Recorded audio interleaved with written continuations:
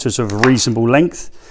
When they're that fraction longer, they are easier to get into a box than being too short. It isn't the other way around. Short is good, short isn't good, fraction long. And if they are too long, doesn't matter, we're practicing, we would trim them back. But let's see.